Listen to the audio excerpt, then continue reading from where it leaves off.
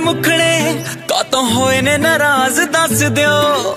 ਚੱਟ ਮੰਗ ਲੈਨੇ ਆ ਜੀ ਮਾਫੀਆਂ। ਸਾਡੀ ਗਲਤੀ ਜਨਾਬ, ਦੱਸ ਦਿਓ।